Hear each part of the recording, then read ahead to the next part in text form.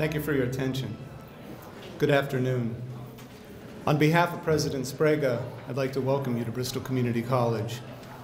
Thank you for joining us today for this vitally important discussion on grief and healing. My name is Michael Bensink. I serve as the Director of Counseling Services here at BCC. And I've also had the great opportunity to mentor Darlene as she developed this event. But surely the credit is hers. Appropriately, I am very pleased to introduce to you BCC student Darlene Tetreault.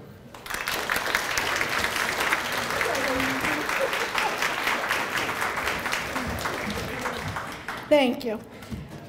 Good afternoon. I'd like to welcome you to my grief awareness event here at Bristol Community College.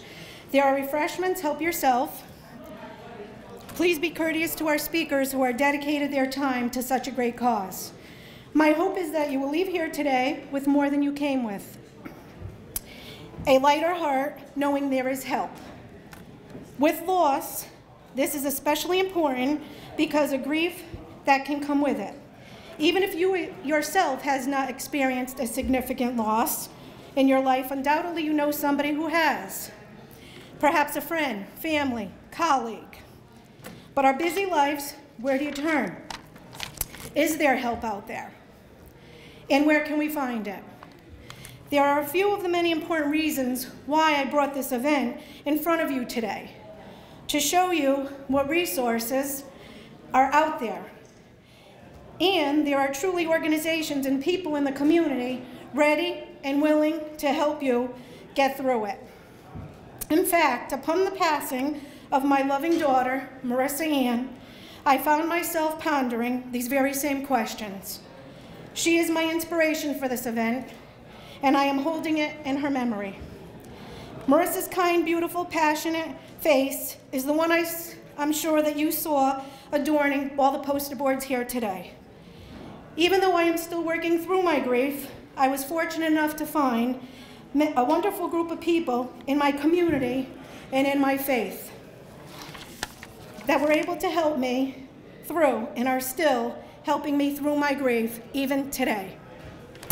My name is Darlene Tetreault, and I am an LPN certified EMT and a student here at BCC, as well as being thanatology certified. On Thanksgiving 2011, I lost my beloved daughter, Marissa Ann. She is the reason why I have put together today's grief awareness event. Knowing this, you can see where my passion comes from and the truly personal reason why I base my leadership project on grieving. Being able to find the help that I needed is what I wanted to pass on this gift to as many others as possible. Today you are going to be hearing from many diverse group of professionals and specialists who can help you through your grief as well. They are speakers from the mayor's office, healers, counselors, chaplains, and also representatives from STAR, Clinic, and other professionals from our community. Now I want to take this opportunity to thank from the bottom of my heart for volunteering their time and coming to speak to you today. Without their support and the support of all the wonderful sponsors, this event would have never come to fruition. I would like to thank all of our local uh, Fall River sponsors, Dunkin' Donuts and Papa Gino's on Elsbree Street for the wonderful food we have there. Um, Stop and Shop on Rodman Street, they have um, donated all the beautiful arrangements that you have seen and Minuteman Press on Columbia Street. And of course, I need to thank my greatest sponsor, whom with I may not still be alive today. He has been there through me, with through thick and thin, and has readily stood by my side. This would be my loving husband of 18 years, Stephen Tetreault.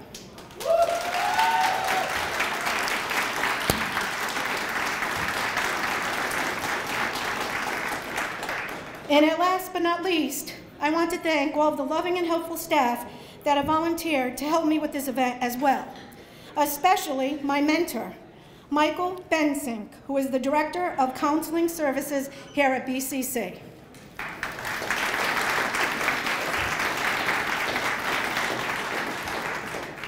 He has been absolutely crucial and vital to the development and organization of today's program. It is because of his efforts that I am here before you today. Michael, thank you for your guidance and for your friendship. I don't know where you are.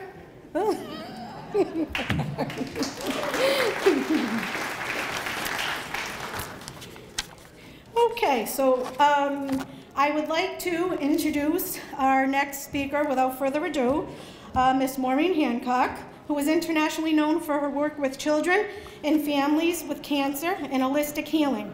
She continuously gives so freely of herself. And speaking candidly with Maureen, we agree God works in mysterious ways.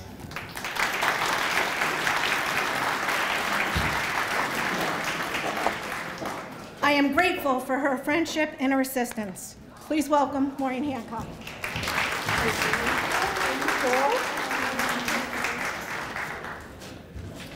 You're a little sweaty, darling. Isn't she doing great? It's not easy to stand up here, and especially with such an overwhelming subject matter.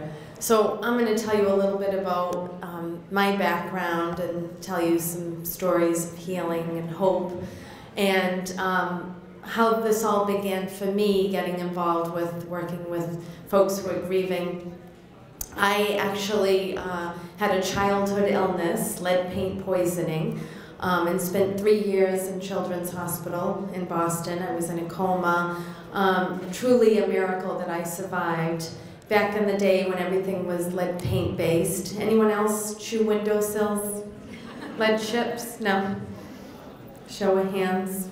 This area a lot of lead paint. So my mom actually uh, got the bill passed on the state and federal level for uh, lead paint poisoning prevention, and um, so she's the reason why you can't sell your house. So yeah, you can laugh, okay?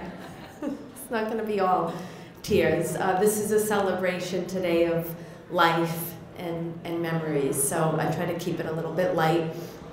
So when I came home from the hospital at five years old, um, I used to see people walking all around the house. And I told my um, head of the God Squad Irish Catholic mother that the Sacred Heart of Jesus picture was speaking to me, my little four foot ten Irish mother. What's he saying?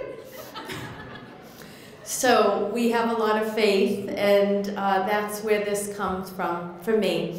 And I try to give as much as I can. Um, over the years, I tried to suppress uh, being able to feel things and know things. Um, but in 1992, I was in a car accident and I fell asleep at the wheel and I hit a tree and I broke every bone in my face. I bent the steering wheel in half and I was standing outside of a completely crushed vehicle when the fire rescue team showed up. They kept asking me who pulled me out of the car. Um, on impact, I actually felt a warm rush go through my body. I heard my grandmother's voice. I knew she was with me, and um, I credit her for my divine intervention, uh, and God and everybody else. Um, but I was standing outside of the car, and a woman who called 911 said that she felt somebody shake her shoulders. She was sound asleep, and she heard, go downstairs to the kitchen and wait. And sure enough, I showed up at her door. She called, you know, for help.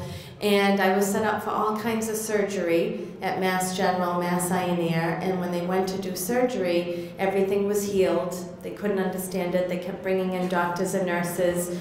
And um, I'm one of nine. Several of us have actually had uh, near-death experiences with a coma family from Stoughton. That was funny. Not really, but. That's why I drink vodka. Irish, you know.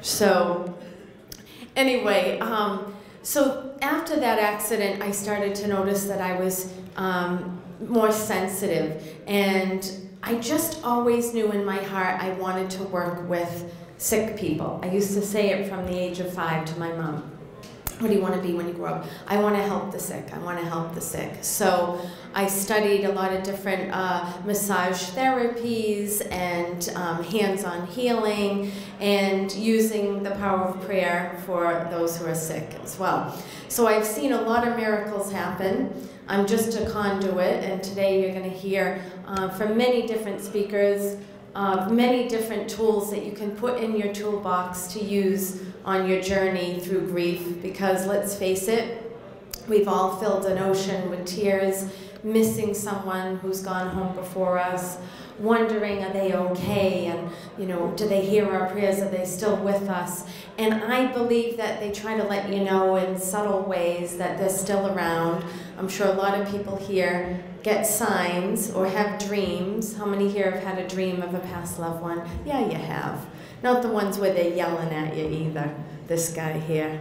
Yeah. Relax. You can't catch this.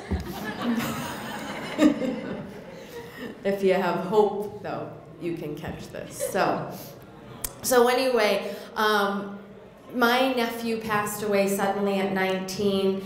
Uh, his car fell on him. We just never thought that such a tragedy would hit us, just like Darlene. You just never thought that you would be faced with such immense grief. And um, you know, Sean, my nephew, comes to us all the time and just keeps saying, you know, I'm still here with you. I'm going to help guide you. I can hear you. So just be open to that. Um, they want us to be happy. They want us to celebrate life, to keep living. And so many of us are so stuck in our grief that you need a lot of the tools that are going to be offered today um, to help you. I always say grief counseling is number one, having you know your faith in whatever way that means to you holding on to something that can get you through because you're not alone and sometimes you feel like you're alone and that they can't hear you and they do. So i work with um, sick children and adults who are getting ready to pass. The children that i work with are so so brave. Um, this one little boy that i helped who uh, had a brain tumor, six years old, little Johnny from Pennsylvania. Every day we would get on Skype together because uh, obviously he couldn't come to me. If you don't know Skype, it's free video conferencing. And he would sit there with his bowl of cereal. Mommy, tell me about heaven. What's it going to be like? Am I going to be able to do crosswords? And my heart's breaking as this little boy is um, asking his questions about heaven and so, so brave, never complained. The day that he passed, I was on the computer with the family. Of course, the dad, you know, who's going to be here to take my son? And I'm like, well, he's not going to be alone. And the moment he passed, I have pictures of this. A ray of sunlight came through the window and made the sign of a cross right on his chest. So there's the answer. Um, as so many of these kids that I work with, um, they just they really help put life in perspective. So today is about grief awareness but it's also about how do we live life to the fullest? How do we get the most out of this life? And and really feed your soul um, knowing that they're rooting for us they, they they want us to go on they want us to be okay. I'm sure there was many times when you know you didn't know how you would survive, right? And so Darlene, as she mentioned, reached out with the many resources here today. Um, I'm going to actually go around the room and ask if anyone has any questions. Uh, don't be shy, this is your chance. I get probably 200 emails a day from people asking uh, their most burning questions. I don't have all the answers. When I get there, I will. but from the many, many years of doing this work, um, I can offer you what I feel in my heart, and you can do what you want with it. But this is your chance if you have a question. Um, or something that you want to share. Maybe you've had a divine intervention or something that helped you get through grief. Maybe you were crying your eyes out and all of a sudden, you know, that certain song came on the radio or, you know, someone came to you in a dream and gave you a hug and it felt real and they told you that they're okay and that you're going to be okay. So, uh, does anyone have any questions? Or do we have another mic here? Yeah. Oh, we're good. I'm coming down. Here we go. Everybody looks so scared. Oh, my water just flowed. And you know what? That brings up a good point. Um, is everything a sign? No. Do we talk ourselves uh, into them like, well, maybe this could be it? I feel like when you really get a sign from a loved one uh, in heaven, that you'll just know it feels right. You're like, how could that be? But we're so busy and human that we get carried away and you know, we block things. Um, we block the healing process. I say you have to feel it to heal it, right? So, you know, there's many different stages to grief, um, which I'm sure some of our experts will talk about. But I always say there's no set, um, I don't know, schedule for grief. One day you might feel good, the next day you feel crappy. All of a sudden, out of the blue, you burst into tears for no reason, right? Or for every reason. So, and here's my other mic. Okay. I thought she was a spirit. She a pasty. Okay, you can laugh. Former stand-up comedian. So, um, but don't let anybody take away from your grieving process. Like some people try to put a time limit on it, like, oh, you should be, you know, feeling better by now, or you should be over it. It's a, it's a continuous journey that will be through your whole life, um, and and no one can tell you how to do it either. So whatever feels right to you, and I know Darlene has a lot of great information on the handouts.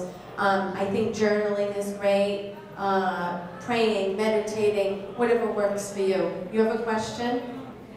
Another, um, Stand up. going through the process of grief after losing my son five and a half years ago, I became a songwriter, so I used music to help push me through that and heal me and a lot of other people with the music. So helping other people helps us, moves us Right. And, and don't you think Darlene is so brave to do this? I know she was panicking. She was shaking in the bed. so it, it's tough, but every single person in this room is, is grieving or has had grief in their life or been touched by grief. So that's awesome. Give a hand for this woman. Give me a hug. All right, I'm going to give you one of my CDs, Healing Grief. There you go. So, do you have a question? I just lost my sister uh, nine weeks ago. And in October, I was in church, and God told me I had to go on a mission um, to the Dominican Republic. And I had no job, I was being operated on. I was like, God, I'm disabled, I have no money, how am I going to do this? Next day, I got a check for $300 in October for my taxes. And I knew I had to go. And then um, my sister died, and two days later, I had to go on this trip. And uh, it was so, I got knew in October I was going to need that when my sister passed. And um, when I was down there, she, uh, I said, I haven't heard from you in that. And I had just gotten out of the shower, I'm drying up, and she goes, get dressed. So, In the shower. They don't watch you in the shower. Just want you to know. because I told her I don't want to see her in the bathroom anymore. But let me just ask you about your, your healing trip, though. Um, did you have visions? You know, was this where they see the Blessed Mother? What, what was the place that you went? Well, I, uh, we helped out uh, medically and uh, building a school for uh, people in the Bates uh, that only make two dollars a day. We gave them shoes and medicine. It was, I know God wanted me there. Um, I was the second person in our church to do it. I'd heard the speech for eight years, but I had a job. I had to go and I had to support myself. But my sister was supporting me. And I just was like, what do I do now? And she goes, go, you've got to go. God tells you to go, you go. And um, because of that, I, I needed that week of healing of, uh, and it was a tragic death. She fell and hit her head. And so it was just, it's so devastating now. It's so raw, so. But I am so blessed, and I don't know how anyone else does it without God in their life or whatever your God is. So I'm lucky. I that this last year I learned that God's going to take care of me no matter what. So So give me a hug from heaven. Clap for her. Brave. Have a question? Because I lost my wife in early February this year, and about three or four weeks ago, I sort of dozed off. I, I started joining a support group, and uh, I heard that it's, it's common for people to doze off in the day. And it was the middle of the afternoon, I had the TV on, and I heard the door close. And I looked, and I, I think I looked. I don't know whether I was still asleep or whether I was awake. And my wife was in that room, and she was like 30 years younger than what she was. Her hair was a lot darker because when she passed away, her hair was all gray, and it was uh, it was like dark brown. And she looked over, and, and she smiled at me, and she her mouth was moving. And my youngest daughter said, "Well, what did she say?" I said, "I don't know. I couldn't hear it." And then it was over. So I mean, I, I'm sure. No, it was real. I mean, that was scary, right? But when, you know, you just have hope and you just open your heart up. This is, love is stronger than death and love survives death. So she wanted to show you that she was young again and whole again and she had to go home first. You'll be along when you're supposed to, but live life to the fullest in her memory until you're together again. And I'm psyched that there's hair color in heaven. Give me a hug. I have to go like every three to four weeks. So, uh, can you, can you give me the CD? Question? I know you don't want to stand up. My 11 year old son passed away two weeks ago. Do you believe we choose our life plan before we're born? I think that um, I'm going to talk to you in private after this, okay? And, and tell you a little bit of my thoughts on that and give you one of my healing CDs. But I know that um, you'll be able to feel him. You're in the beginning stages, and this is actually where, you know, uh, some of the grief counselors or talking to a priest or whatever works for you, I think is really helpful in the beginning when you're so, so heavy in your grief, you're reaching out, right? You found your way here. You weren't even going to come here today, right? But, but something or somebody told you you needed to be here, okay? So I'm to talk to you. Give me a hug, will you? Clap for her.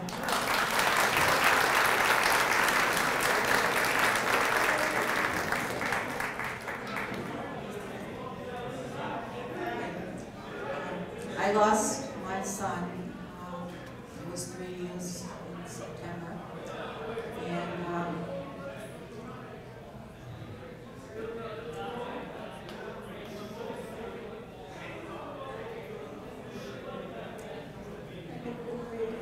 for trying to get any kind of sign. That's very, very common with so many moms that I sit with that, you know, you're you're reaching out and it's like the love is so, so strong that sometimes you won't have the on-demand button to the heavens where you say, if you're here, you show me right now. So that's where trust comes in and faith and just believing that and knowing in your heart he is okay. And you know, when the time is right, he'll show you, but trusting in your heart, one day you'll be together again one day, right? We have eternal life. We'll all, we survive this physical body. I say this is the lease vehicle. When the lease is up, the driver steps out and continues.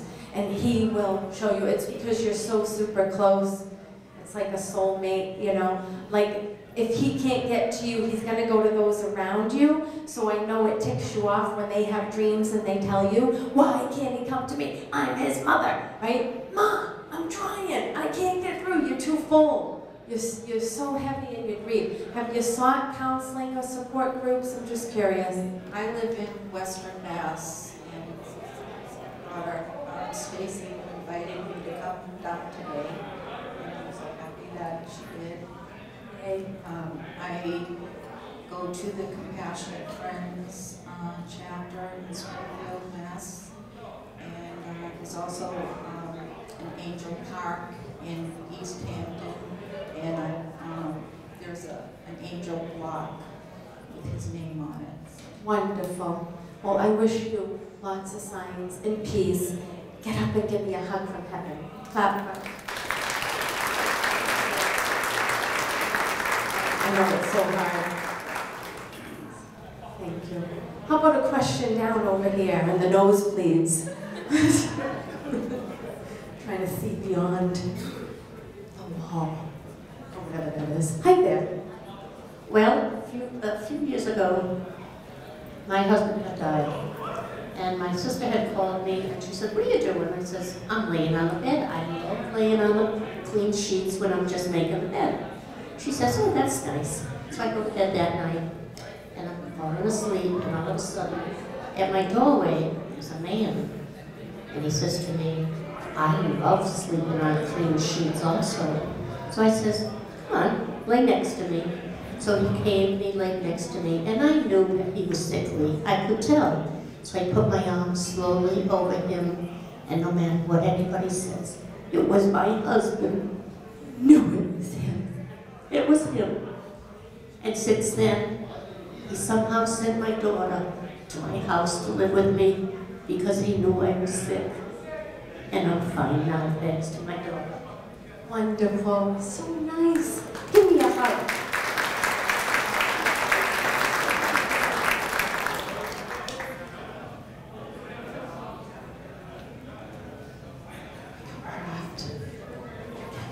All right,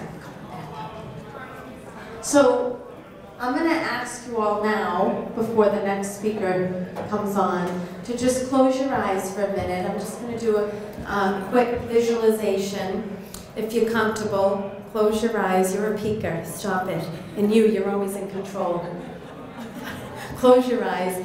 And I want you to use all your senses uh, to feel and picture yourself on your favorite beach and you're walking along the water's edge and you can hear the waves wash over the rocks and see your loved ones in heaven on the other side coming towards you and smiling at you and holding their hands out to you and giving you a great big hug.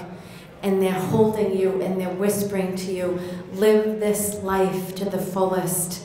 Do everything that you can for others. Pay it forward. Forgiveness, love with all your heart, let go of anger and hatred and troubles that no longer serve you, and do this in my name. And know that we will all be together again when it's your time to come home. So slide into home base. Don't walk around the bases with your head hung low. And know that love can never, ever truly die. We have eternal life. And open your eyes. Thank you so much, everybody. Thank you.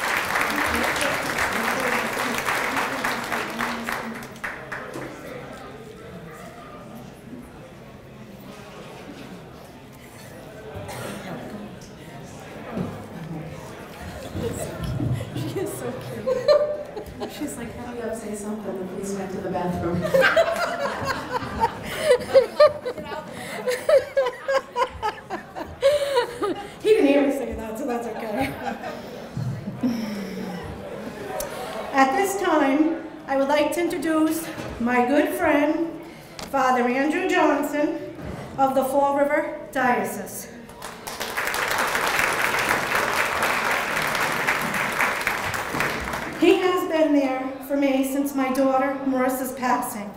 I am honored to have him in my life. Please welcome Father Andrew Johnson.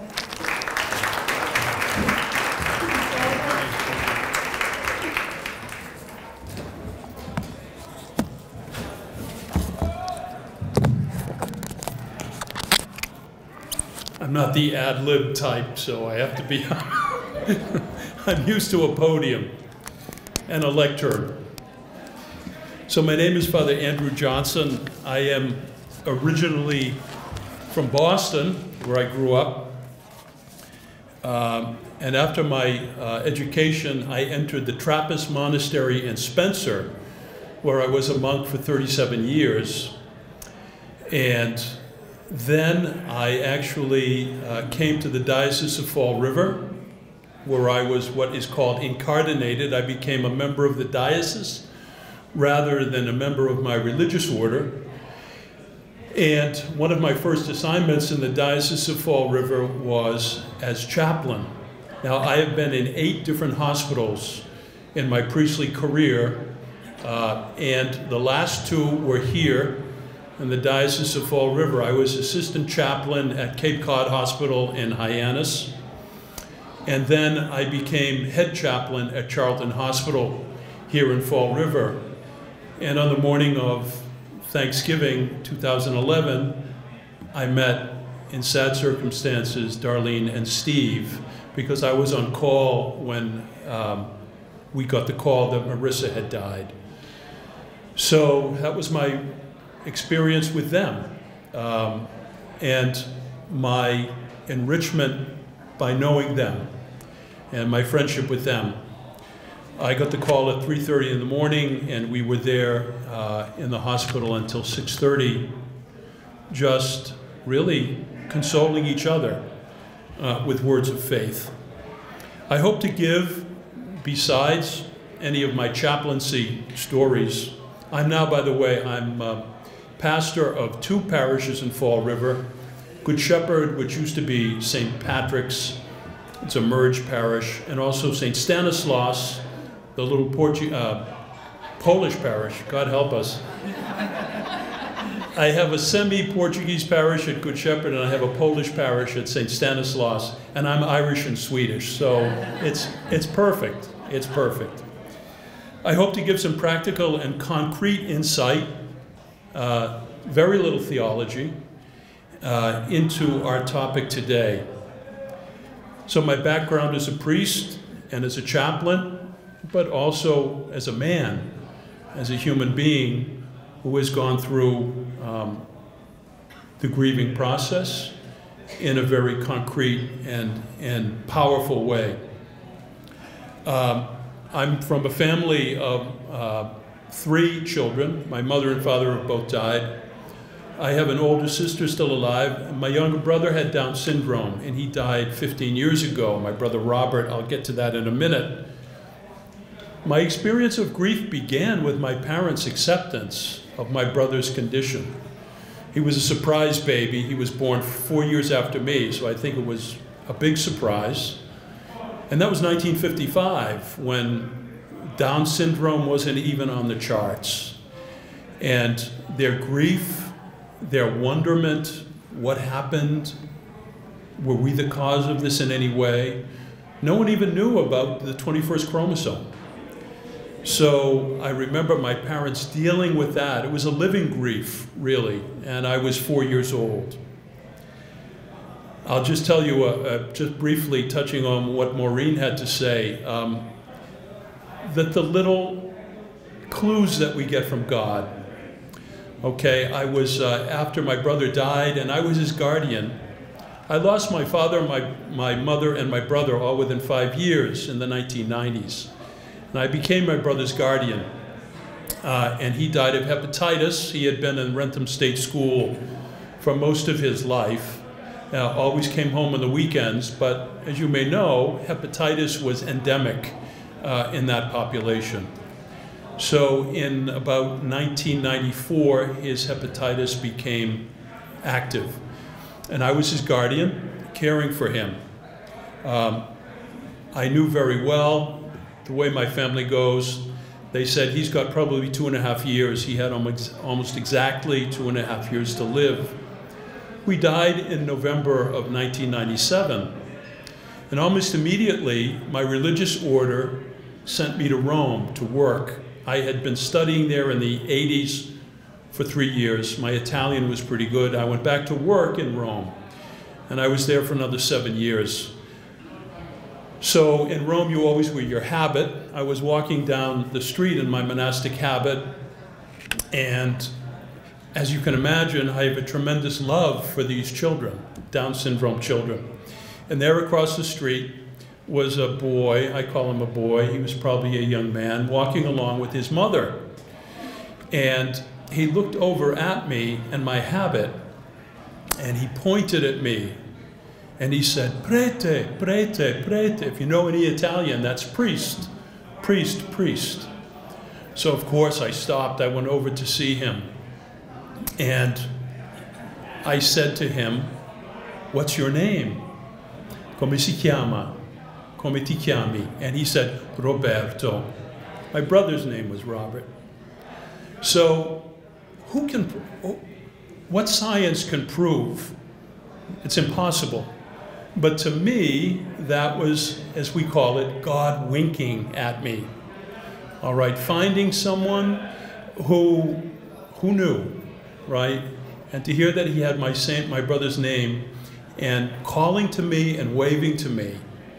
So science cannot touch that, right? That's faith. That's what we all have. So the one thing I wanted to speak of, as I heard people um, people discussing their, their own grief is that it's very common for us to use a word, and it's, it's a real word when we're dealing with grief. We say loss. I lost my wife, I lost my parents, I lost my brother. And that is a real experience. Uh, one of the greatest and most common desires when we lose people is we want to hear their voices again, right? We all know that We want to hear their voice. But there's a real sense that our faith tells us that's not the right word to use, that they are in safekeeping. And to call it law, of course, the experience is real of separation. And to deny that is insanity. And yet our faith gives us a whole different way of looking at our experience.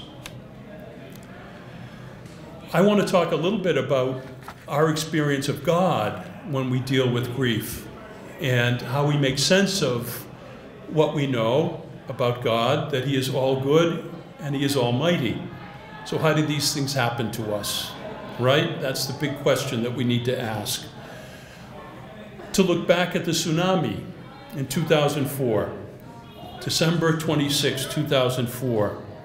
184,000 people confirmed dead, 46,000 missing since then, and of course presumed dead.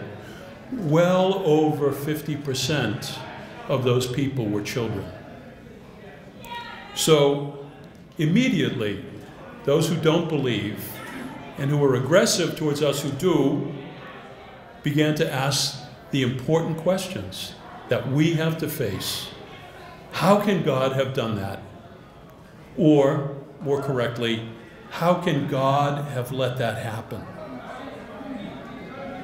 I'll get to this at the end of my talk, but in a sense, it's the most difficult case possible for us who believe.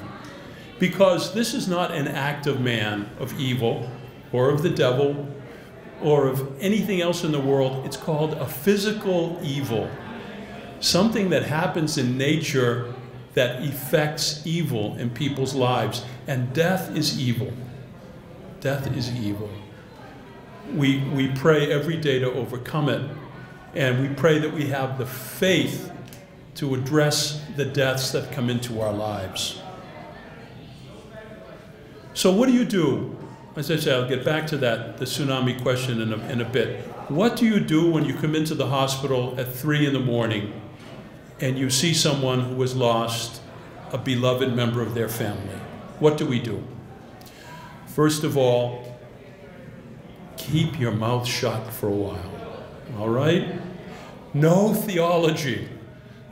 God is so good. Um, this is the famous. Uh, he needed an angel, and he so he took your little your little child.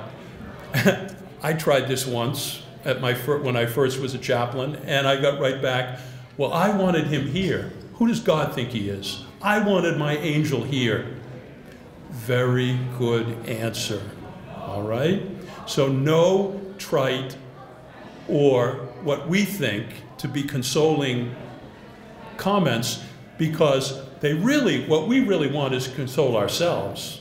with thoughts like that, right? I, the priest, get there and I don't want to really deal with the pain of what these people are going through, so I come up with a trite comment. All right, God wanted them in heaven. No. No counseling, no theology, no stupid comments or questions. The best thing to begin with is silence.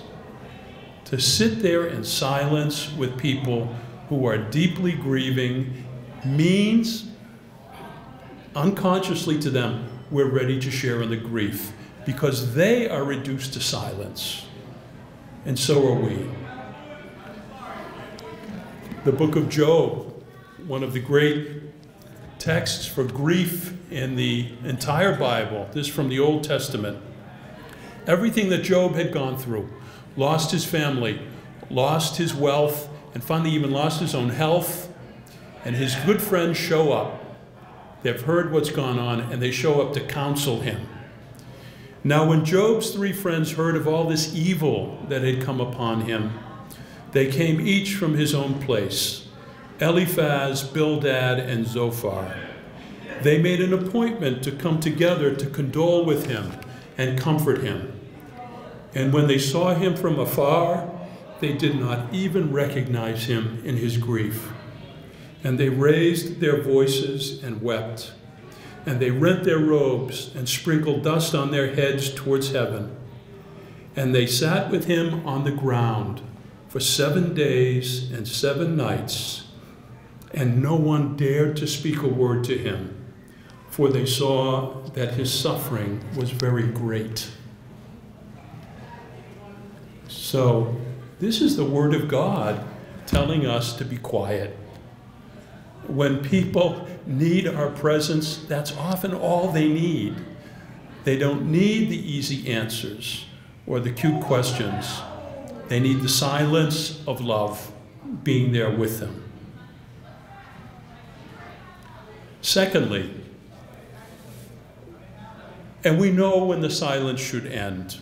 Normally it's, a it's days or weeks. You don't, we don't jump in with easy questions or easy answers. But immediately, as soon as is possible, we urge people to be honest with God about their feelings towards what's happened and towards Him. Because if God is God, He can handle our anger. He wants our praise, He wants our love. What's the other side of that equation?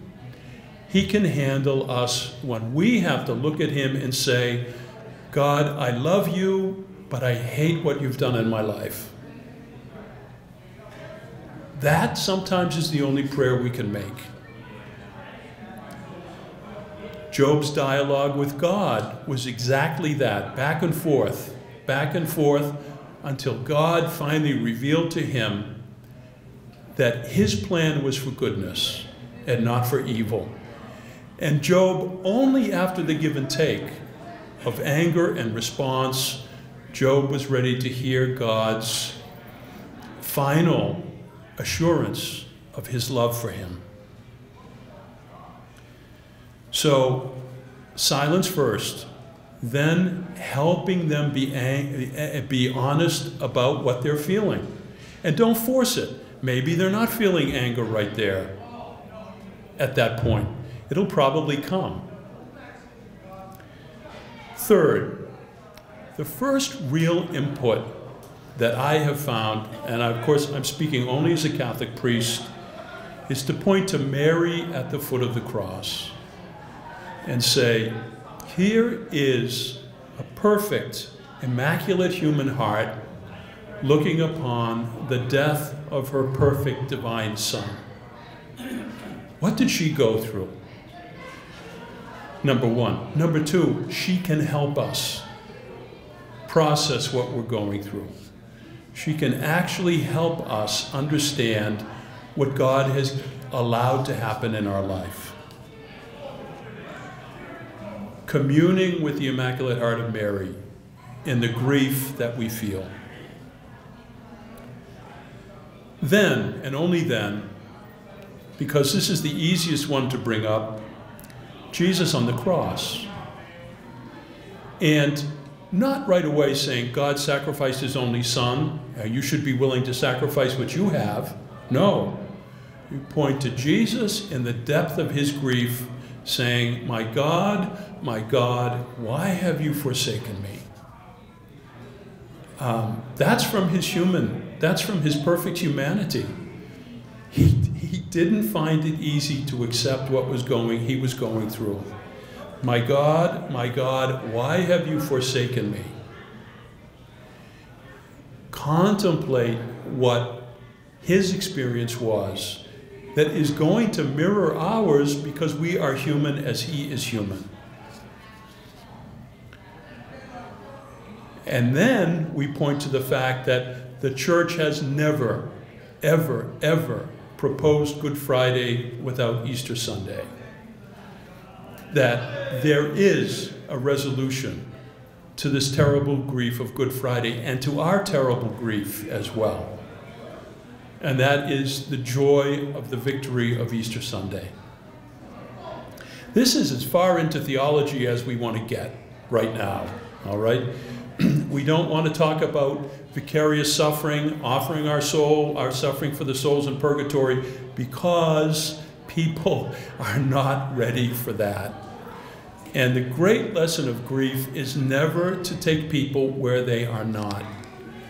Never. And, and Maureen touched upon this. People begin to say, You should be through this by now. Ridiculous.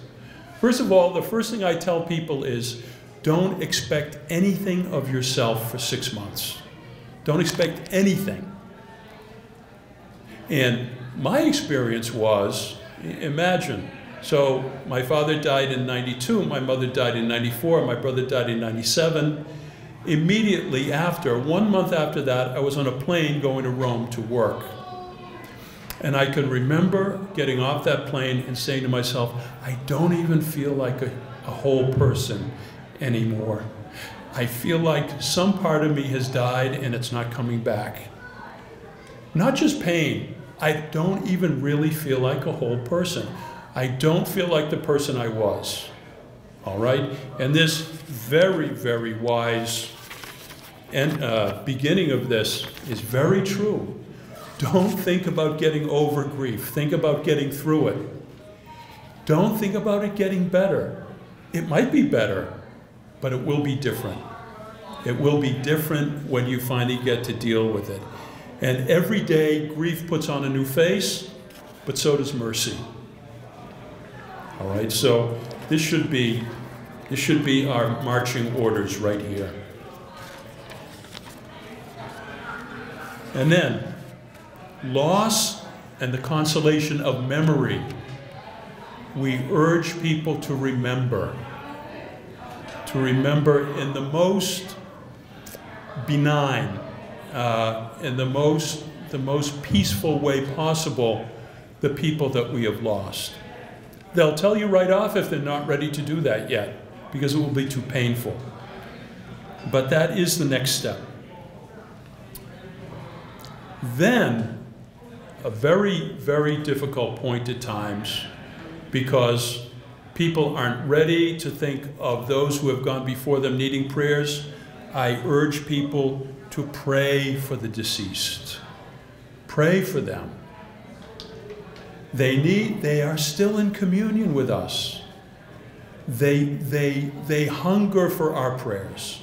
They hunger for our love. Those who die suddenly need our prayers no matter how sure we are of their goodness and where they are. That is an absolute, unavoidable step of healing to pray for them and pray with them as well, of course. This is healing for people grieving, and it's also spiritual help for the deceased. We need each other from either side of the grave. And then finally, um, if you will, the most active part of helping people get through grief is you exhort them to live a good life. look at your life and see, look at your own life and see what you would want to change before you stand before God. Healing really takes off at this point when we look at ourselves and we say, for the sake of my, of my beloved dead, I want to be a better person. Huge, hugely important, if you will, the final spiritual step of grief management. Not everyone takes these steps differently. It's not, a, a, don't, don't write down step one, two, three, four, five. all, we all approach them in different ways. This is the way I have I've dealt with my own grief and I've helped other people deal with theirs. Now, first of all, any questions about anything I've said? As I say, I'm giving you my the effect or the product of my life as a Catholic priest and as a chaplain for many, many years. If any, any way I can help uh, with any questions on, on anything I've said.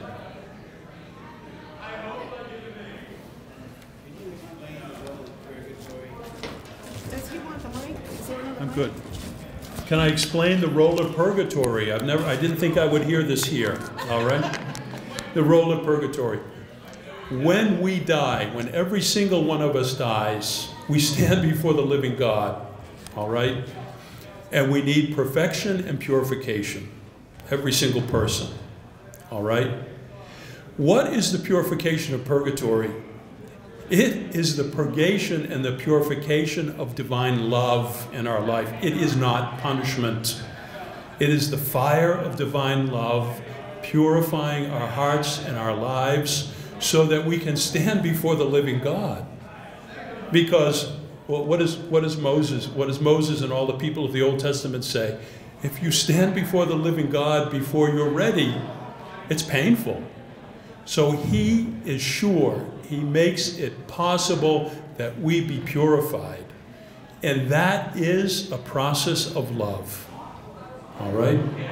That's what, that's what, that's what we understand by purgatory the purification of divine love so that we will be able to truly look upon his face with joy all right and eternal eternal bliss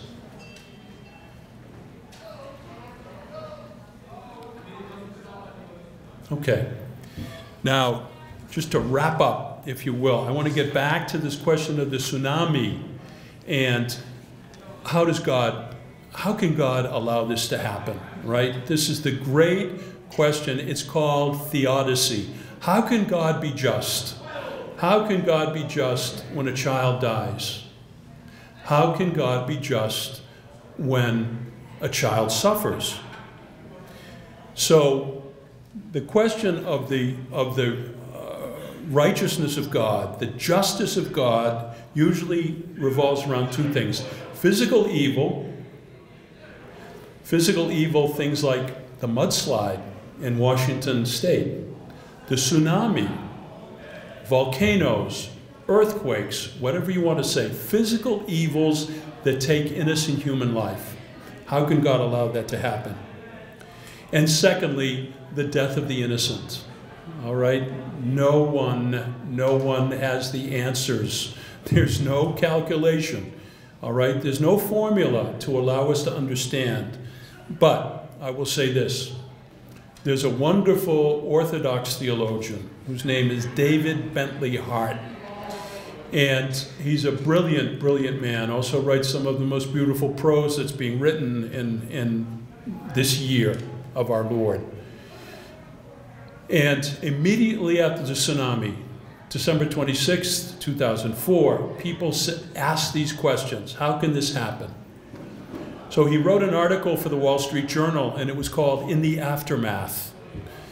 And it was his personal reaction to these very serious and important questions.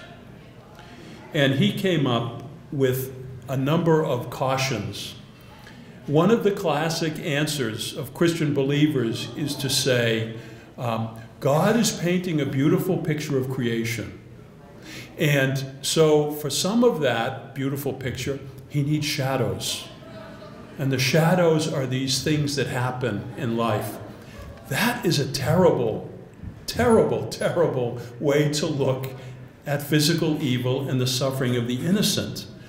God doesn't need shadows. He doesn't make them happen in order to paint his beautiful picture of creation. So, what is it? What happens? You have to be a believing Christian to really get this.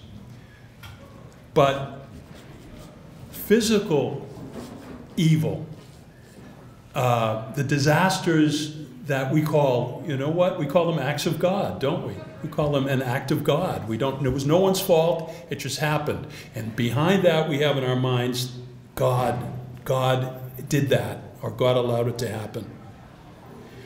What he says is that in some way, physical creation, everything that we see, in some way, shares in the disorder caused by human sin. That somehow, into the very fabric of creation, the imperfections of the human race have had this effect. All right? It's not science, it's not empirical science. All right? But it's right out of St. Paul. All creation groans in labor pains, waiting for the revelation of the sons of God. And secondly, the other thing he says is he says that always make the distinction between the things that God causes in the world and the things that he allows to happen. In the mystery of his eternal being, we don't understand. And this is why one of the first questions you have to say to people, especially children, people who have lost their children, they say, Why did this happen? And you say, We don't know yet. We don't know. And any priest, bishop, or pope who tells you we know and I have the answer is lying. All right? Is lying. We don't know. But we believe that at the revelation of God's final goodness, we will understand. We don't have it now, it's mystery and faith, but we will one day understand. And I just want to read to you, um, to finish up really, this beautiful, um, the end of his book. After he wrote this, uh, this David Bentley Hart, after he wrote this beautiful article in the Wall Street Journal, he expanded it. And I recommend it. It's called The Doors of the Sea. And he calls it that because he said normally the sea has its doors, right? It doesn't go any further. The high tide comes up and it recedes, all right? But the doors of the sea were broken on December 26, 2004. And what happened? And here's what he said. When we learn in Christ the nature of our first estate, our first state of being, and we know the divine destiny to which we are called, that is eternal glory, we begin to see more clearly the more we are able to look upon the world with the eye of charity. We begin to see that there is in all the things of earth a hidden glory waiting to be revealed more radiant than a million suns, more beautiful than the most generous imagination or the most ardent desire can now conceive.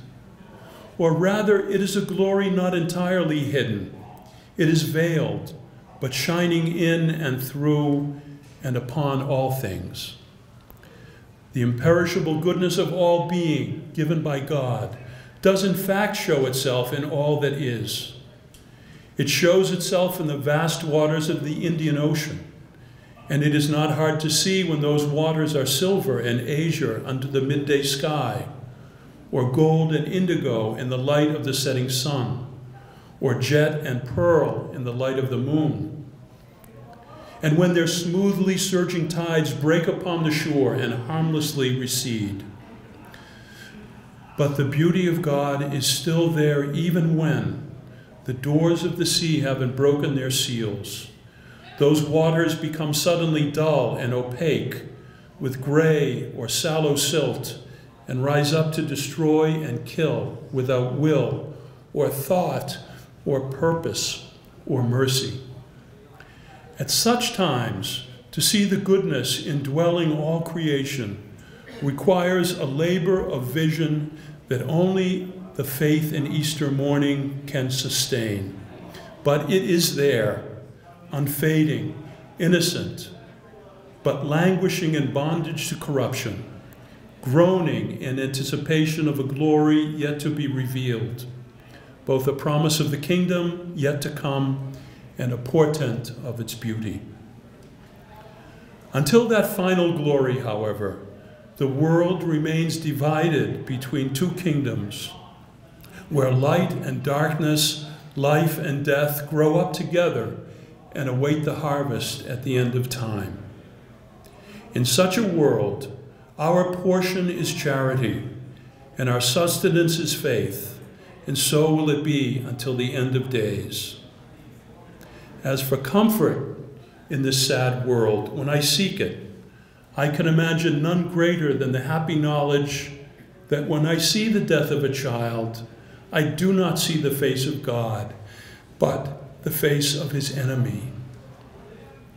Such faith might never seem credible to someone who does not believe, but neither is it a faith that arguments can defeat.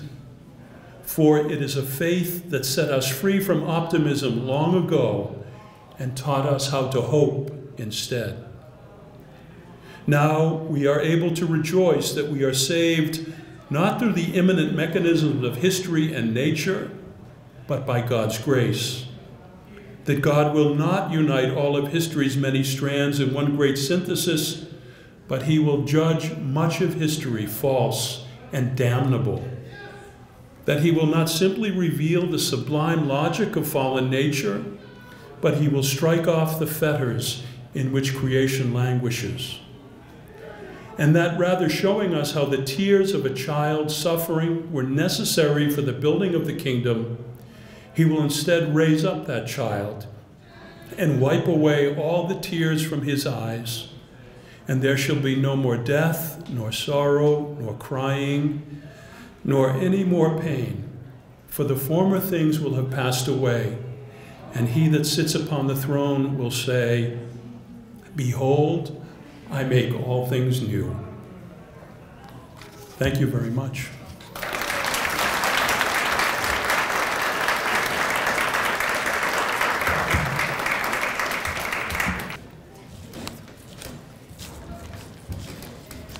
Thank you, Father Johnson. At this time, I would like to introduce our next speaker, Rosemary Saraiva. My husband and I had several interactions with Rosemary through our bereavement support group. She has helped us through many tough times. And once again, I am proud to say she is a close friend and has listened to and wiped many of our tears off our face. Rosemary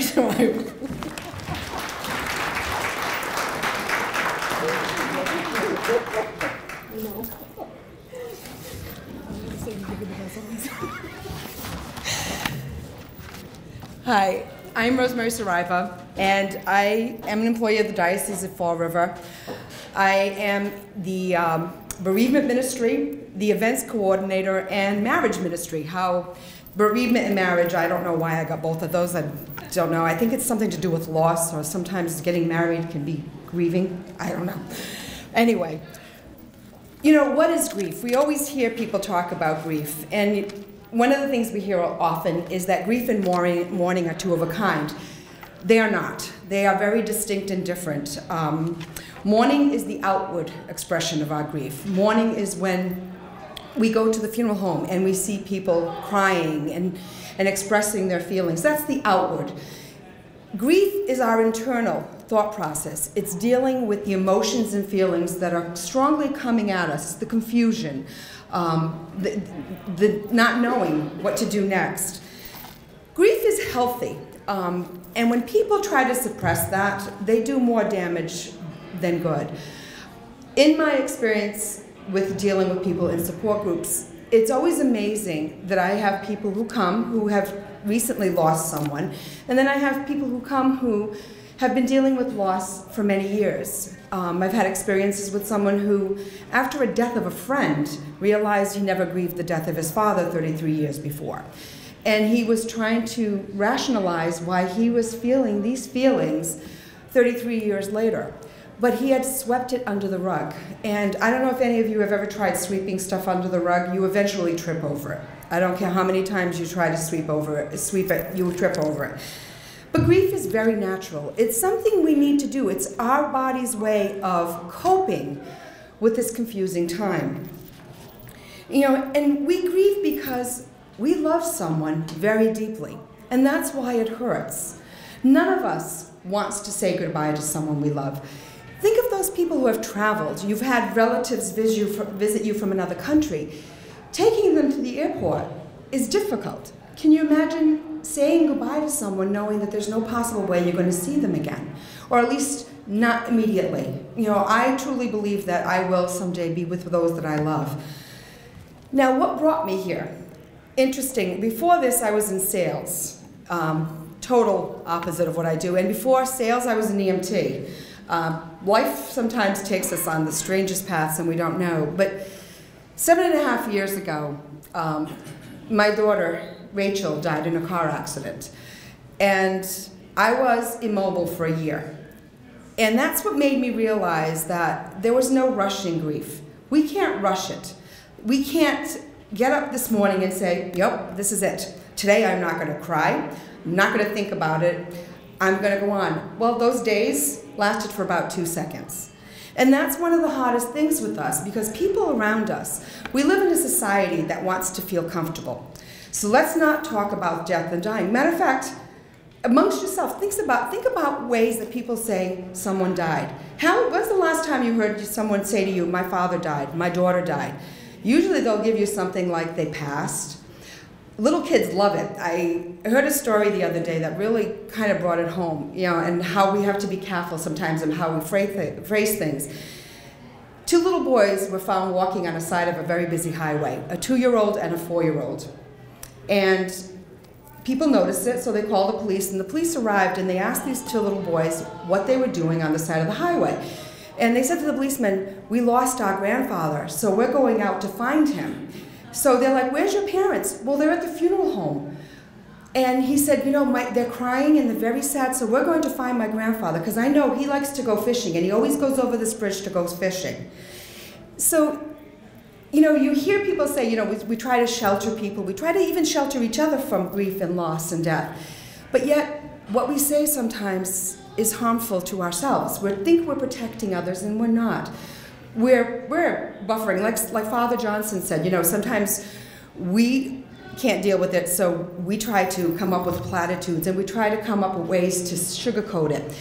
Um, I work with children. I do Rainbows, which is a program for children uh, from the ages of three up to young adults who are grieving from loss. And the losses in Rainbows aren't just death. They're, death, they're losses from divorce, they're losses from you know, parents being homeless, um, br uh, brothers or siblings moving, going to war and not coming back. So we're dealing with various kinds of losses. But one thing I've learned and what, that I take back to my adult support group is that children are very candid. They're very direct. They don't want sugar-coated anything. When they ask you, where is grandpa? You say he died. They're like, okay, that's really how they, and it's funny because until I started working with children, I didn't realize that they really don't want deep explanations. The same goes for us. When we're grieving, we're not looking for deep explanations. We're not looking, you know, like Father Johnson said before, we're not looking for that theological explanation. I don't know about you, but when I sat in the hospital room and they told me my daughter was dead, the last thing I wanted was somebody telling me, you know, she's in a better place. Screw that, sorry. sorry, did I say that real loud? They're, the better place is in our arms. And anyone that has lost someone knows that. We want them here with us. We don't want them someplace else. But we come, in time with grief, we come to realize that, okay, they transitioned into this new life. And that's hard for us. It takes time, and we deal with it. You know, you hear people talk about stages and phases of grief, and, you know, a lot of times people will talk about, you know, Kubler-Ross and the stages. Those stages are for death and dying. They have nothing to do with grief. Grief is a seesaw ride. One day you're up, the next day you're down. One of the things I tell my support group, and I'll tell anyone that, that asks me, is grief is literally like landing in a foreign country. You've just arrived, you've got no ID, you've got no baggage, and you don't speak the language, but yet you're told to find your way around. That is grief. That is grief. You basically are told, here you go. Because we all experience it differently. The beauty of talking to someone and going for counseling or support groups, or even finding someone else in your family or your immediate friends who have experienced a loss, is that they at least know what you're going through. I could not honestly stand here and say I know what all of you are going through. I have no clue what any of you are going through. I know what loss is. I know what emptiness feels like, and I know what it's like to long to see a loved one again. But I have no clue what you're going through because our grief is as unique as we are. No two of us are the same. One of the analogies that we use with grief is snowflakes. No two snowflakes is the same. No two relationships are the same. Many of you have lost spouses, yet if you sit and talk, your relationship with your spouses are not the same. Some of them were, were extremely happy and you had no complaints, and some of us struggled. I mean, I've been married for 33 years and I love my husband dearly, but there are days where I would like to send him packing to that foreign country. You know, but that's life. That's life. Same thing with our children. You know, they give us grief, but then we wouldn't do anything, we wouldn't have it any other way.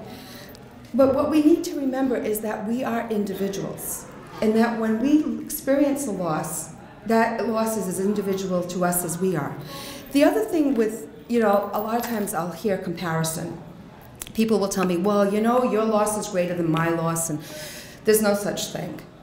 The only loss that's the most difficult is the loss you're going through. That is the most difficult grief to deal with, your own personal loss. There's no comparison. You're the only one that knows how much you're hurting. You're the only one that knows what you're going through. You're the only one that knows what that relationship meant to you. Many of you have brothers and sisters and you've lost a parent. If you sat down with your siblings and asked them how they felt or how they're feeling, you'd be surprised at how varied those emotions and those thoughts are. Because your, your relationship with your parent, your relationship with, with each other are totally different. You know, and your birth order, believe it or not, also plays a part in that. But there's different things. But one of the things that we need to remember is when we're grieving, we need to take care of ourselves.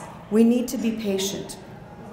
People will give us advice, and I'm sure some of you have already heard some interesting advice. Plus, people will say things that you sit there going, did they even think before they open their mouth? But one of the things that we need is we need to express ourselves. We need to share our story. We need to share our loved one's story. One of the things that I always request in the support group is that they share the name of their loved one. Because one of the things that happens to us is many a times people around us, thinking they're protecting us, don't say the name of our loved one. And we so long to hear that name. That name was someone special. I rejoice when somebody says my dad's name or my daughter's name or any of my loved ones' names because it's like somebody else remembers. And that's key to us. So we need to speak. We need to share that. We also need to accept help. The hardest word for me, a four letter word, was help. It took me three to four months before I realized my grief was harder than anything I could handle. It was bigger than I was. And I finally reached my, talked to my physician, I said, I need help. But that was the hardest thing to do. And I encourage you, none of you need to do any of this alone, ever. Grief is very difficult. Grief is messy, it's dirty, it's confusing, it is hard work. But you don't have to do that alone. There are many people out there that have been where you are now, that are, where you are right now.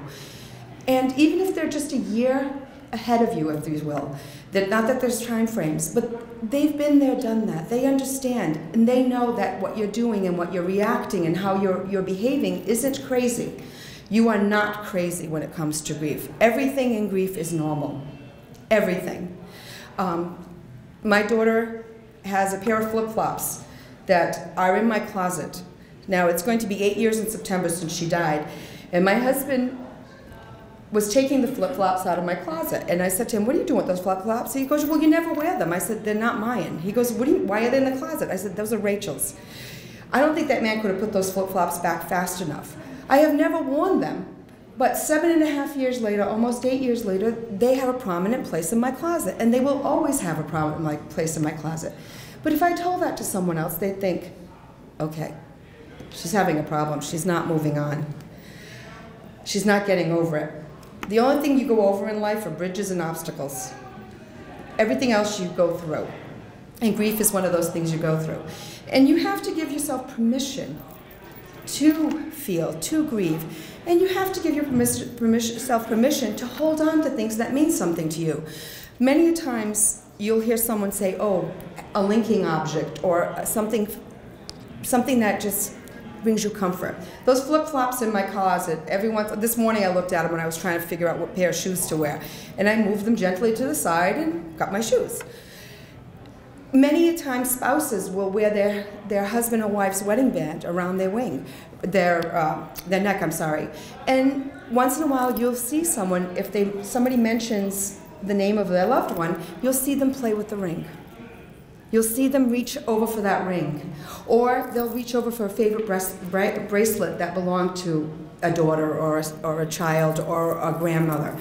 And the reason they do that is because the name got mentioned, and this is the linking object. By touching that ring, by touching that favorite piece of jewelry, by touching that, you're thinking of them and you're feeling them with you. And that's important. There's no you know, you'll hear people say, oh, oh my God, they've created a shrine. Now, I don't know about any of you, but do you have pictures of your loved ones in your house, the ones that are living? You have pictures in your house. So if I went to any one of your homes right now, you probably have a bigger gallery than the Museum of Fine Art. I don't know about you, but I have grandchildren, so now my house looks like I, I could really start selling tickets and having people coming in and checking my photos. Why is it any different when someone dies? Why does all of a sudden it become a shrine because you have the pictures up of your loved one? Why is that any different? They're still part of your life. They've simply stepped into the next room, like that famous poem says. They've stepped into the next room. But they're still part of who you are. Nothing has changed. You know, you heard Maureen and you heard Father Johnson say, the love continues. The love never dies. And that's what makes it hard. You know, one of the analogies that always comes to mind is when people tell me, you know, everybody's telling me I should be over this, I should be over this. You know, have you had surgery? If any of you in this room have had surgery or have had an injury where you've got scar, that surgery, that injury hurts. It really hurts a lot. You get help with it. You know, you might get medication to ease the pain, but it hurts. And then eventually it starts to become a dull throb or a dull ache, but you have a scar, and you never forget where you got that scar. That's our loved ones. Uh, we never get over grief, ever. You don't forget someone you love dearly. That's impossible. So, why are we being told that, oh, you shouldn't be grieving? You should be over this? Every one of us has scars.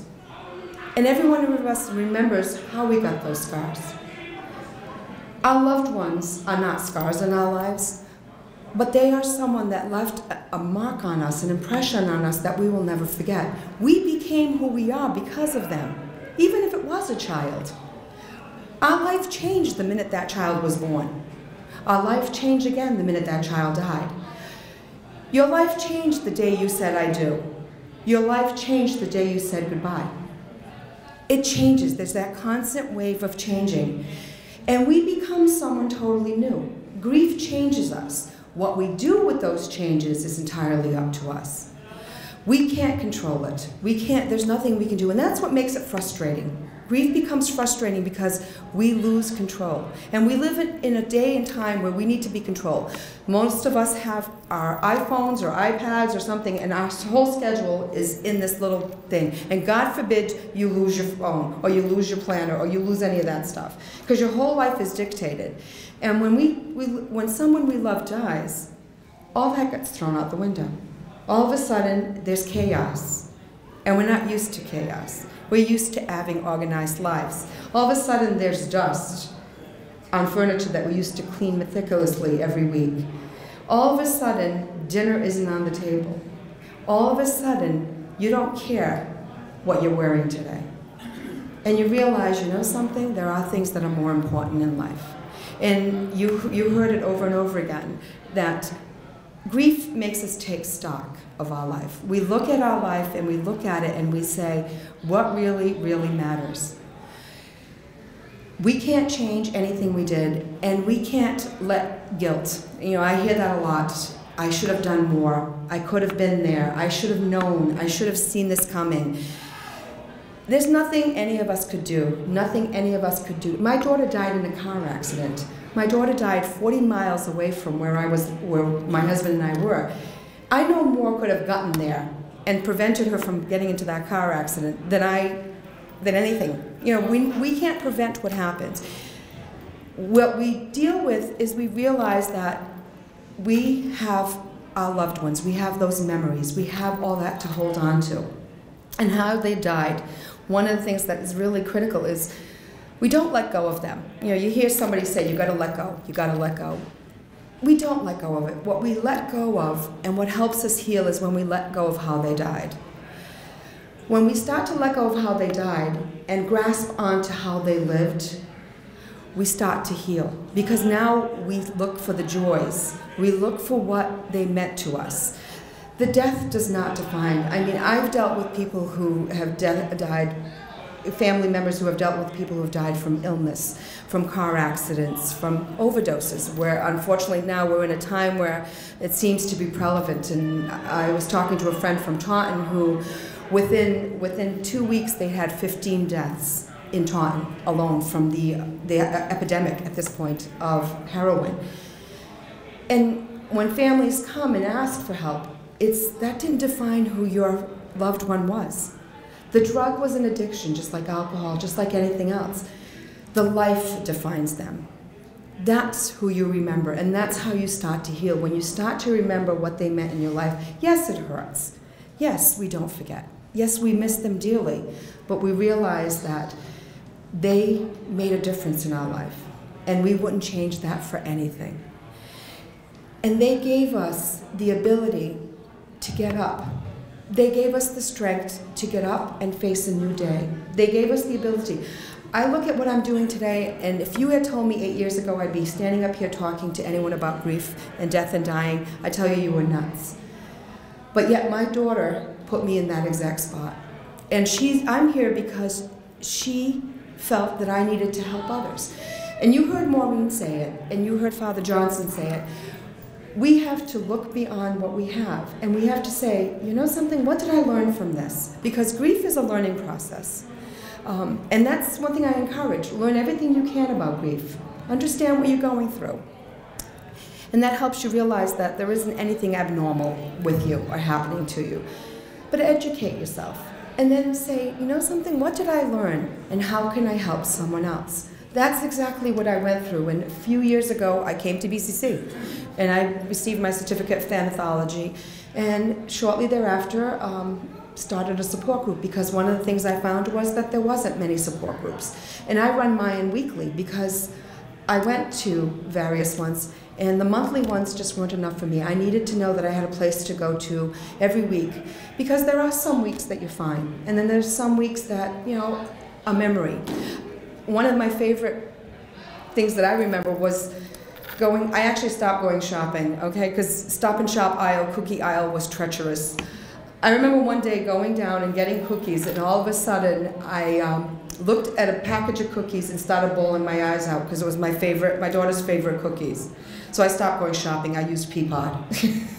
but you find ways. You find ways to get around. And you've heard methods. There are methods of helping you. Um, journaling was one of the tools that I used. I was able to get my thoughts out of my head. And on those sleepless nights, sometimes just writing what I was thinking, even though I looked back at a couple of pages, I haven't been able to read my journals, it was enough to get that out of my mind and onto paper and, let me get a couple of hours of sleep. If journaling, if you're not a writer, maybe just taking a walk. You know, Many a times I took a walk with my big, big sunglasses and let the tears flow down my face. And that was good. One of the places, this is going to sound odd, but if you want a quiet place where nobody disturbs you, go sit in a cemetery. Nobody will bother you. It sounds strange, but when I couldn't find peace at home and I needed solitude, I either, I either went to the cemetery and sat at my daughter's grave, or I went by and sit by the water.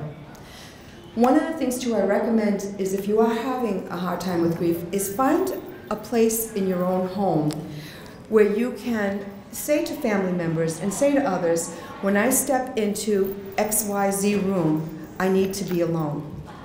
And that allows your family and others in your life to realize that once in a while you've got to step out of life. You've got to step out and just need a quiet moment. My sanctuary was my bedroom. And if the door was open, my kids and my husband knew they could come in. If I closed the door, they knew I needed a few moments alone. Some people will go to a park bench. They'll go sit by, this is a beautiful place to sit. They'll go sit by some water. Some have told me they go to the library because in the library they be quiet. They can be quiet, nobody will bother them. One of the other things too that's really nice, go sit in a movie. You just sit in the theater because one, nobody can see you. Two, you can cry your eyes out, and nobody will know. And you know, where's Darlene? Darlene told me. Darlene one day came to the support group at night and told me she spent seven hours at the theater, just popping from movies to movies because she didn't want to think. She just and she went from theater to theater. I needed to be in the dark. I woke up, saw the light, and said, "Oh hell no." Sorry, Father. But You didn't hear that. but sometimes you find you got to find things like that that you know can help you just to, to just get out of that or allow yourself to be in it. And one of the things, and I'm going to wrap up. No, one of the, don't have to. oh, I don't. No, okay. no, no. I thought you were telling me I'm out of time. No. One of the things that we hear a lot of times, it's funny, is don't cry. How many times have you been told not to cry? If I had a dime for every time someone told me not to cry, I'd probably be a multimillionaire right now. It got to the point where I actually one day got so upset and I said, You know something? I earned the right to cry. And I'm going to cry whether you like it or not. And if you don't like it, there's the door.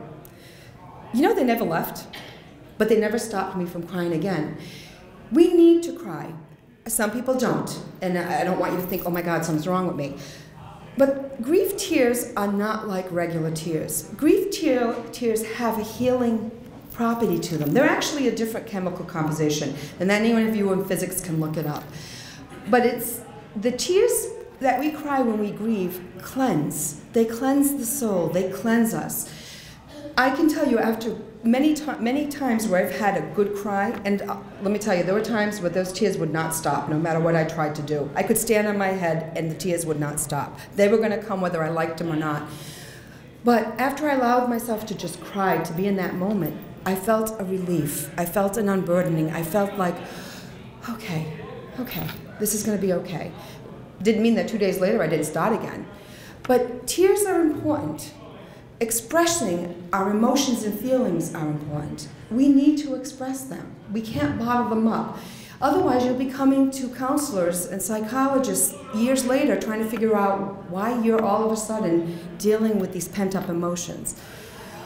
We need to deal with it. And if you have people around you who are trying to prevent you from experiencing your grief, find somebody that will let you experience your grief. Um, Father Johnson said something that really struck me. You know, that when you first come across someone who's lost someone, that you don't say anything. I remember the greatest help I got was from a friend. I called and said I was having a rough day. And she came over.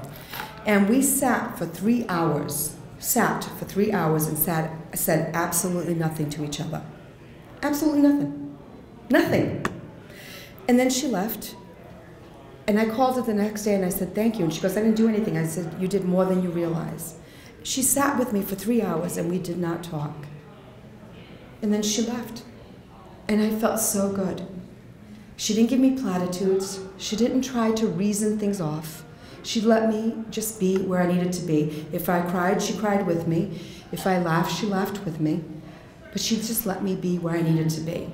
And that's what you need to do for yourself. You need to be patient with yourself. You need to find someone that allow you to be you. You're hurting. It hurts. And you need to allow yourself to feel that hurt. You know, you'll hear someone say, "Oh, you know, that's all self-pity." You're not self-pitying. You're hurting. You've you've just your life just turned upside down. You're missing someone who meant the world to you. Of course. Well, if it's self-pity, it's self-pity, but you're hurting. And you want people to know that this person meant the world to you. You're not self pitying. You're not showing signs of weakness by crying. You're not confused or crazy or anything like that. You're just in that foreign country. You're just in that foreign place trying to find your way around. Feeling, groping, grabbing onto lifelines, grabbing onto whatever you can to make it through. One thing I can say is you will make it through. As messy as it gets, as confusing as it gets, as discouraging as it gets, you will make it through.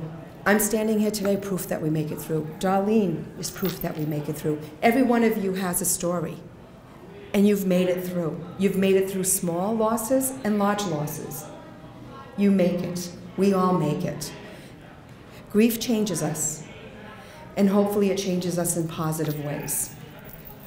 I'm going to share something um, real quick, and then I will wrap it up, unless someone has questions. But I'm always looking for poems and things, and this is interesting little poem. It's by Nancy Allen Kelly, and it's Shadows of My Mind. In shadows of our memories, lying quietly aside, are moments of togetherness wherein bonded love abides. So often as I think of you and the softness of your smile, I see the twinkle in your eyes, flickering with jest and guile. Now as lights of solitude hover in and out of mind, you are there forever, just as limitless as time, and there will I always find you in the shadows of my mind. Any questions or anything? I, hopefully I answer some questions and anything, anything you want to know about grief or some of the things you've heard that has been confusing? No? Well, I thank you for your time. And I do work for the diocese and I do run a support group. If I can be of any help to anyone, I'm always available. There are, my cards are on the table. Oh, yes.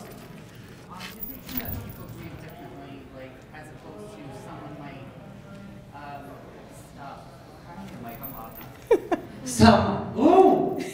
I know, I know. It's like, ridiculous.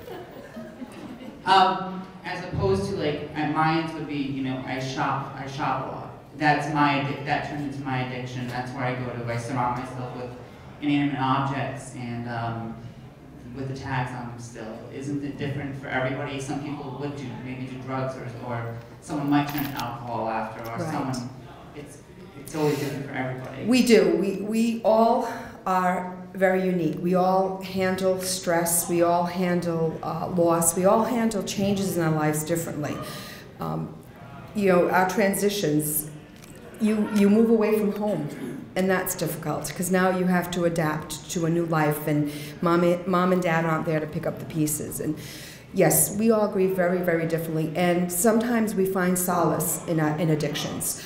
Hopefully, that isn't the case, but there's people that help. I mean, shopping is definitely an addiction. It's just like alcohol, it's just like anything. But we do. We do look for ways to comfort ourselves. And that's exactly what it is. You know, these are these are ways that we find. So if I'm going to spend a couple of hours in the store, I don't have to think about anything. You know, if I just have one more drink, I'll get numb and I'm not going to feel the pain anymore. If I take this drug, it'll all go away. If I just don't talk about it, I don't have to deal with it. And we do. We find we find ways to push it aside. What I'm trying to say is that we can't. Eventually, eventually it comes back to us. It Does it always comes back? It does come back. And I'm- you're surrounded by mess. Yes. And now it's more confusing because the people around us are trying to figure out why 30 years later, why is all of a sudden they're missing their dad? Why all of a sudden are they crying uncontrollably? Because they didn't deal with it 30 years ago. You know, they, they tried to hide it. I, I've talked to people who just pushed it aside and didn't want to face it. And now all of a sudden are trying to figure out why these raw emotions are happening. I should have gotten over that 30 years ago. Thank you very much. You're welcome. I hope that answered that. Any other questions? Thank you. Please give Judith your undivided attention.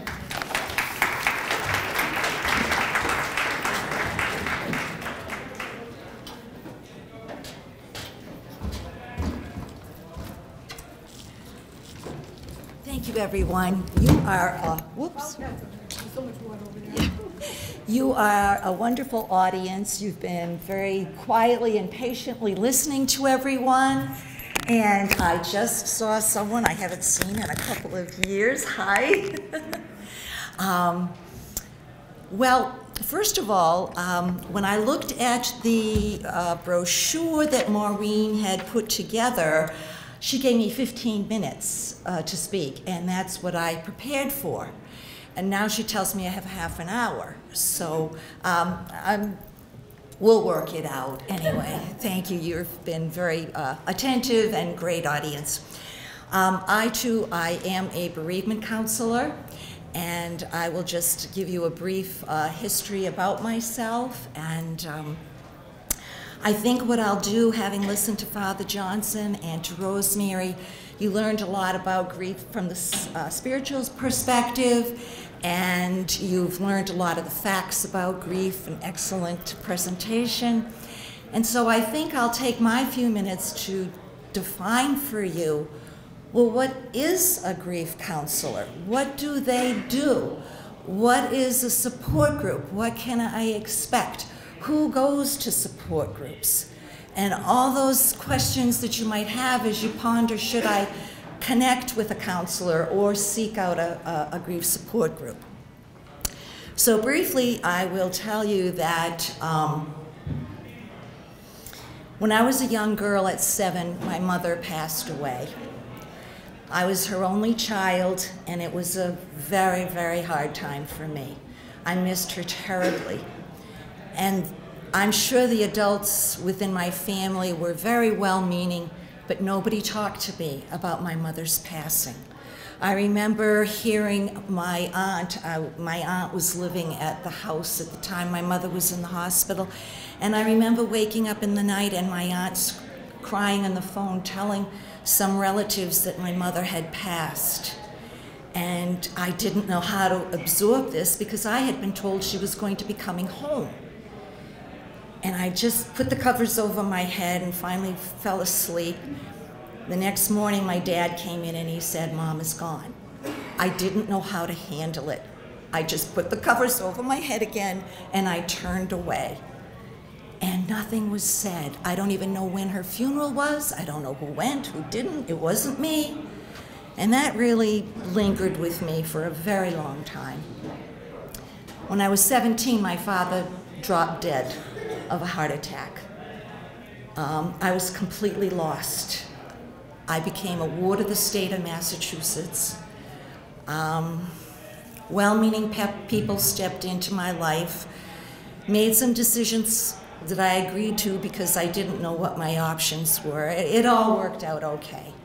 But I was a lost soul for many, many decades, literally. Um, it was a long journey, and I struggled for many years because I had no one to talk to. I didn't go to anybody. I didn't mention anything about that grief. And as Rosemary said, you hold that in, and someday it's just going to explode out. Well, it did. and, um, but it was a slow process. And um, I spent many years fumbling through life. I had four children, ended up divorced, and all on my, my own as the kids grew up and went away. And not sure what to do with myself. And everybody kept saying to me, You ought to become a counselor. You should become a counselor. And I go, Why do we think I should become a counselor? Because they said, You have that personality, but you also have that life experience. And so um, I decided after uh, becoming um, a grandmother that um, I would go back to school. So I entered um, the um, master's program at Salve Regina University in their holistic um, counseling program. and attended school, much to my surprise. I'd be sitting in the classroom going, I can't believe I'm sitting here with all these other people. But my experience there was challenging, but it was very healing for me, very healing for me. And um, um, I'll just share briefly that um, uh, Salve Regina is a Catholic university, and I'm not a Catholic. But one day we were sitting in class, and um, we had a meditation and a prayer time. And I was sitting there, and all of a sudden, during this meditation, I sincerely received a visit from the Blessed Mother. And I was sitting there crying, the tears coming down, and a part of me saying, This can't be possible. I'm a Protestant. I'm not a Catholic. Why would the Blessed Mother come to me? But I also felt that that was a confirmation for me personally that I was on the right road, that I was doing what I was called to do, and it just kind of cemented the experience for me. Well, I enjoyed my uh, years there so much that I uh, continued on for another year in the um, expressive arts program. And that's not art class. Expressive arts is finding ways to express yourself when you don't have the words to share with other people. Um, Rosemary said she was working with children, and I too work with children um, because they don't have the cognitive skills or the vocabularies to express their thoughts and feelings. Um, I have multitudes of tools and ways that I work with the kids that they can get those feelings out. So it was well worth it to me to stay that extra year. So I am a certified expressive arts therapist. Well, that wasn't enough for me. I got on this roll and I just kept going. So then from Newport, I went up to Providence where I went to chaplaincy school because my spiritual life was very important to me as well. And I do truly believe and feel that um, our spiritual lives are every bit as important as our mental and our physical bodies. And I wanted to clearly incorporate that into my practice. So, with that, I um, found myself uh, in hospice and did my um, well, I got to back up a minute. I did my clinical hours at Rhode Island Hospital, which was an amazing year. Um, I saw a lot of things. Some things I wish I hadn't seen. Some things I'm very grateful for the experience that I had, and I pray for those patients up there almost daily. From there, I, I got involved with the hospice organization, and I have been with them off and on ever since then. Um, I am currently a uh, bereavement counselor and a chaplain for hospice, but recently I've cut back my hours there because I want to uh, be in private practice and work more with children. As my part of part of my counseling with hospice, I developed a children's programs, and I have been going in and out of um, uh, schools throughout the Massachusetts area with a six-week bereavement program for kids, bringing my expressive art. Um, tools with me for them. So, with that, I'll move on to what is a grief counselor. I'm sure many of you have some idea of what that is. Um, I just want to start with one little story that this is the starting point where I meet people when I meet them as a counselor. Once there was a little child who went on an errand for her mother. She was late returning, and her mother asked her for an explanation. The child replied that a playmate of hers had fallen and broken her doll and that she had helped. The mother wondered what the child could do to help mend a broken doll, and then she heard this marvelous reply I just sat down and helped her cry. There are times when we are with other people and we cannot solve their problems. We can only become a part of their grief, blending our tears with theirs and that is the beginning of my process in support groups and as a counselor. My role is very passive in many, many ways. I have to listen. That's a lot of what I do is I listen and I encourage and I never judge, and I never say should. um, when you come to a bereavement counselor, it's a place where that counselor is going to help you feel safe and secure so that you can feel comfortable sharing those uncomfortable thoughts and feelings that you perhaps are unable to share with even members of your family um, or friends. There's the place where you can vent and you can say, I can't believe what they said to me. It's a place where I just allow that space for people to be who they are and what they need to say.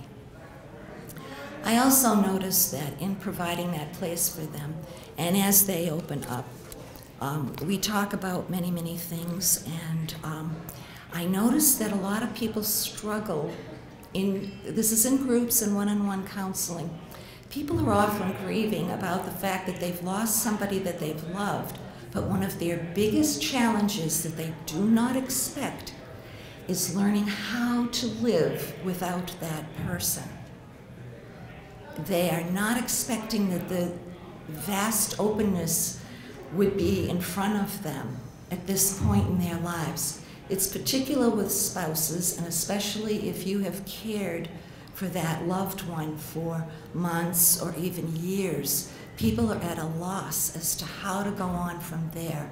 So, a lot of what I do is help to encourage people with many different ways in that listening, in supporting them, in suggestions, exploring ideas, help them find that new life that needs to be formed. And from there, I hope to help people reach the place where they can say, I'm glad I had that experience with that person, and begin to celebrate that precious relationship that you had with them, and to move on into a new life that you can find rewarding and even happy and um, fulfilling when a lot of people at first are afraid that their lives are over. They're not. And there's a wonderful, wonderful days ahead for each and every person that has lost someone. Do I miss my loved ones? Absolutely. But I also think that the experience of losing my parents kind of taught me to understand. And it gave me the, the lessons in my life to learn that I can be open and understanding of you all and those that grieve.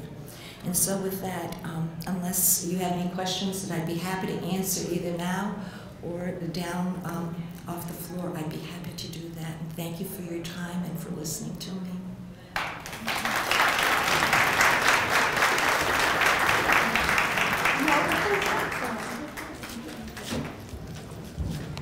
Thank you very much, Judith. I just have um, a little bit more to say, and then I'm going to introduce um, the representatives from STAR. So if you could just hang on a little longer so that they can come up and say a few words themselves. Um, I want to thanks to all our speakers. Again, we can see loss wears many faces, whether the loss of a loved one, a pet, a divorce, or even a job. Grief is normal after loss. Although there are similarities in the loss process, everyone has a personal and unique journey to inner healing. Grieving often, often involves dealing with challenging and difficult emotions. It is important to recognize that these feelings are a natural response to loss. Sometimes these feelings are a natural response to grief. Sometimes these feelings can be painful, overwhelming, persist for some times, even years after your loss. You may still, feel, still have these feelings and some unanswered questions. This is why we are here today, to open up a dialogue and show what resources are available, whether it's simply to talk about your loss or to even go further to a healthcare plan to aid in your healing. There is always a place to turn. And in conclusion, I'd like to read a short poem by an unknown author that has personally touched me and helped me understand my grief as well. we will learn to live the new norm. The title of the poem is called They Say There Is a Reason. They say there is a reason. They say that time will heal. But neither time nor reason will change the way I feel. For no one knows the heartache that lies behind our smiles. No one knows how many times we have broken down and cried. We want to tell you something so there won't be any doubt. You're so wonderful to think of, but so hard to live without. I want to thank you again, all the speakers and the volunteers who have helped make this event a success and it will come together. So I want everybody again to enjoy the wonderful food from all the local sponsors, Letty's Bakery, again Papa Gino's, Dunkin' Donuts, um, and again Stop and Shop donated these beautiful on Rodman Street, wonderful um, arrangements. So now I'd like to call up uh, Linda and Crystal from STAR. Thank you very much. Again, enjoy your day, and I'm so glad, and I hope that you are going to leave with something more than what you came with, and I hope this event has helped someone or touched someone in, in a special way. Thank you very much. I appreciate it.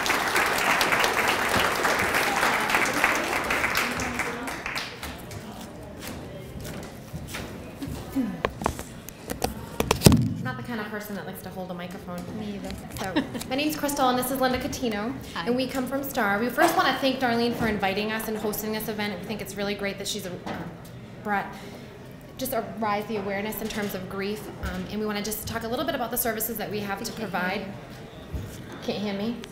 That's even better.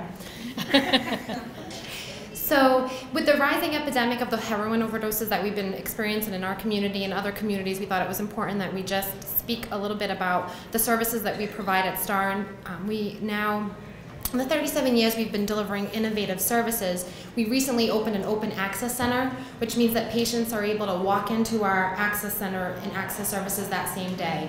So they're able to be triaged to the appropriate level of care. Um, they could access services in our inpatient detox or our outpatient um, counseling. They could access services at our Lifeline, which is our methadone service clinic. And um, we also provide a grief support group that meets weekly. So, and individual counseling as well for, um, for grief support. We have the brochures. We do have um, brochures and information over at our table, so if people want to come over and ask questions, we can certainly be available to answer any questions that you may have. Linda's going to talk a little bit about our family. So, um, I hate mics. I wonder if I hold it if it'd be better. I don't know. Can you hear me now? Okay. Um, we started the Arise um, Family Intervention Model at STAR. I don't know if any of you have ever seen intervention on television. Um, anybody? Raise your hands. Um, that's the Johnson model of intervention. We don't do that. Um, our intervention model is um, Arise. We invite the addicted individual to come to the Arise meeting. And um, so there's no blame or shame or guilt with the family. A lot of times, like the Johnson model, the people will just get mad at the families and really ruin some, some connections that they have. So we do, um, we invite the addicted individual. We work a lot over the phone with the families before the intervention takes place. And we um, use a genogram, kind of like a family tree. And I have to talk louder than them.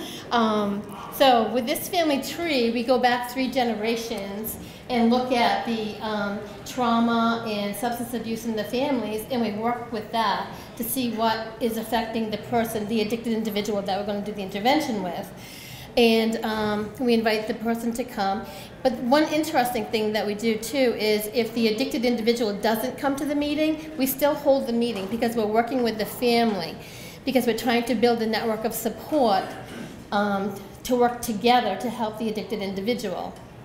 And um, one thing that I love to tell my families is the biggest thing that I can teach them actually is to stop working with the addicted individual one on one because the manipulation of the disease wins when you do that. So you need to unite as a family and build a network of support to do that. Um, we work with the family for up to six months because we're really trying to strengthen that bond with them.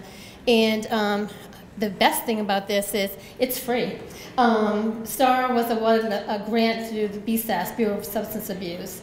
So we're able to help families in Massachusetts to overcome the addiction, help them. I mean, addiction is um, a disease of relapse. So we do see many relapses, but we still work with the families so that they can work through that next relapse. Um, did I touch something there? No. So um, we also have a family support group that meets on Wednesday evenings from 6 to 7.30.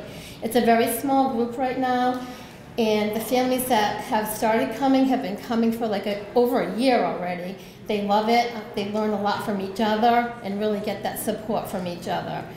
Um, we've had some families that have come that have experienced overdose deaths, um, and we work with them, but they do belong like in some of our other grief groups that helps them a little bit more.